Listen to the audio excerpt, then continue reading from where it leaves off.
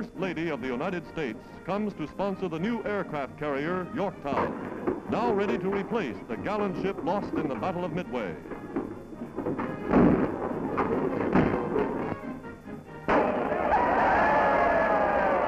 Completed months ahead of schedule, the Yorktown started down the ways several minutes before the signal was given, and Mrs. Roosevelt had to hurry to break the champagne on the bow.